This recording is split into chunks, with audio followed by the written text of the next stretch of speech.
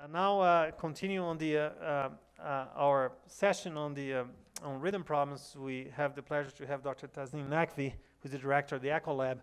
Although she's the director of the Echo Lab, she's really fascinated by uh, hemodynamics and effects of pacing in the heart, and again, trying to keep all the things that are very um, pertinent to clinical practice.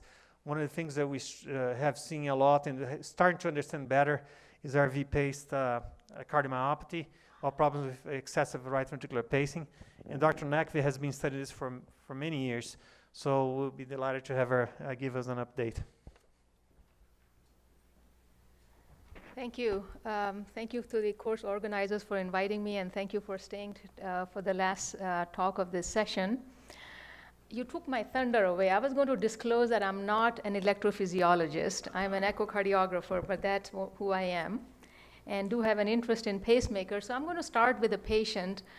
We are going to discuss this case. Uh, we are going to then review the literature and come back to the case. So please remember this um, uh, for your treatment decision. This is actually a patient who Dr. Shri may remember him.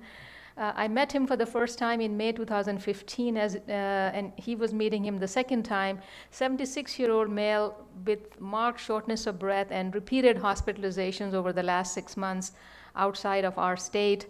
Uh, he had come to Mayo in 2007 for his atrial flutter ablation. And because of some concern about his AV conduction, he underwent a dual chamber pacemaker implantation in 2007. And then subsequently, he also developed um, paroxysmal atrial fibrillation. He has multiple other comorbidities, not uncommon uh, to you all and to us.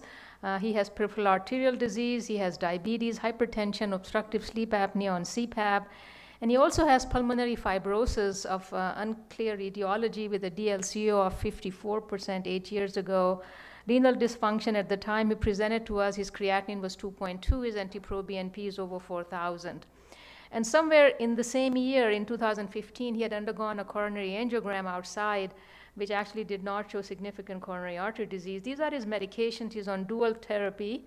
Uh, for his atrial fibrillation, he's on uh, Coumadin, he's on beta blockers, receptor blocker, diuretics, actually a fairly good amount of dosage of diuretics, as well as propafenone to keep him in sinus rhythm as he keeps developing heart failure. And then he's taking medication for his diabetes and pulmonary disease and peripheral vascular disease.